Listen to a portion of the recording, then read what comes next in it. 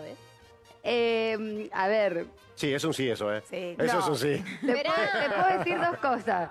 Te puedo decir que no, soy muy religiosa, viste los mandamientos a Sí, full, sí, ayer lo sí. decíamos, no Sí, robar, no así, a- pero puedo ir a lo más cursi y decirte, le robé el corazón a mi esposo. Ah, Ladrona de corazones.